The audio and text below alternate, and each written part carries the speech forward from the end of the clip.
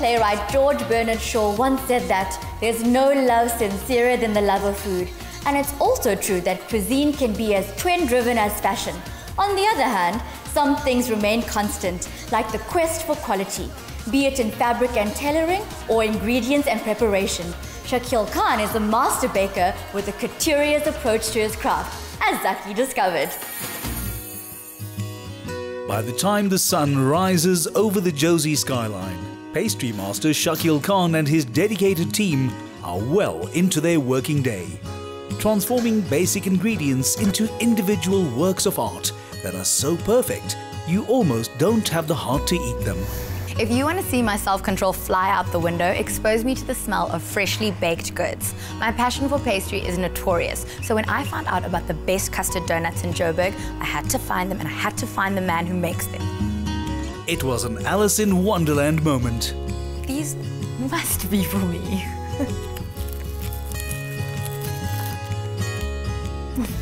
oh my goodness. You just caught me shoving your donuts into my face. Those are for me, right? Yes, they are. How's the donuts? Uh, heaven, it's amazing. Thank you Thank so you, much. thank you. Shakil, where did your love of baking and cooking start? Started back in my mom's kitchen when I was a little boy. We used to watch my mom do a lot of pastry making and it was more of a weekend thing. But uh, yeah, that's where it all began. How did you go about training to be a patissier? I headed to San Francisco to this amazing baking school. It's the San Francisco Baking Institute, headed up by a guy called Michel Suas. He's probably one of the finest master bakers in San Francisco. The man is amazing. And what was the most important thing you learned from him? Make sure you keep everything in grams. Reason being is you have a greater control of the outcome. Can I be your sous chef? Sure, why not? Come join us. The working environment is clinically clean, and the attention to detail allows no compromises in the name of mass production.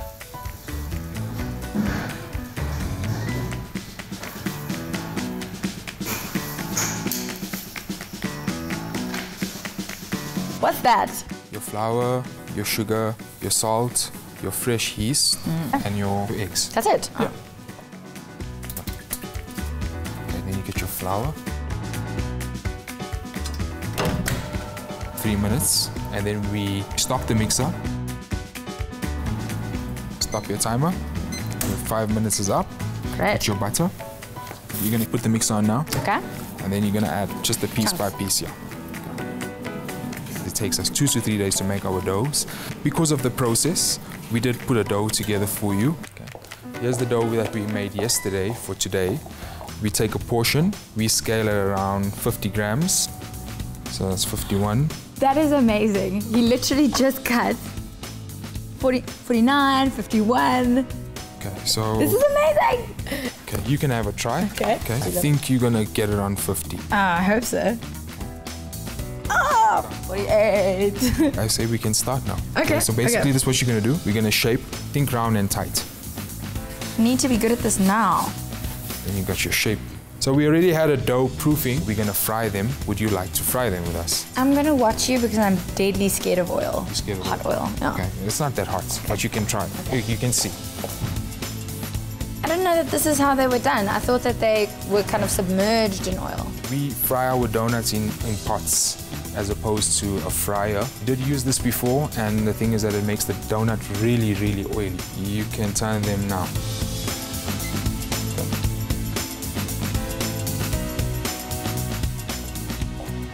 Got our donuts here, now we're gonna sugar them. Never have too much sugar. Why did you decide to come back to South Africa and start a business?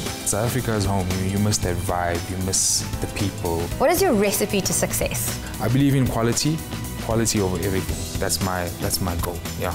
When do you begin work and what is a typical working day?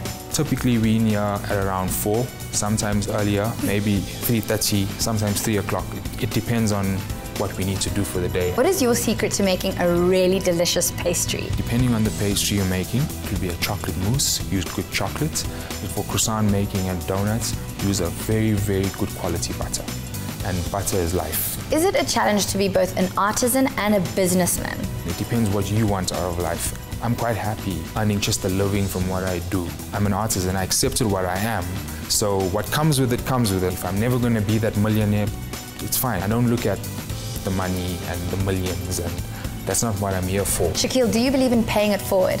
Yes, I do. I mean, like, you have to share with other people what you know because you cannot do everything yourself. My staff are doing really well, considering none of them have been in kitchens before. They're good people, they work well, and yeah, we, we're doing well as a team. These are done now. My family is here. Would you like to join us for some pastries? That would be lovely, thank you. Let's go. hello, hello. Hello. How? Hello, can I can you shake my hand? No, You're so lucky to have a baker as a husband, but with that comes the early mornings and the long hours. How do you work around that? We both set our alarms for 3 a.m. and I'm usually the first one up. We make it work. Every day is, is a different day, a different challenge, especially with our kids. We, we juggle and we spend enough time with each other and with them. Here we go. It doesn't matter whether it's a cake, croissant, or pastry, they all have one essential ingredient, and that's love. Shakil loves what he does, and you can taste it in every bite.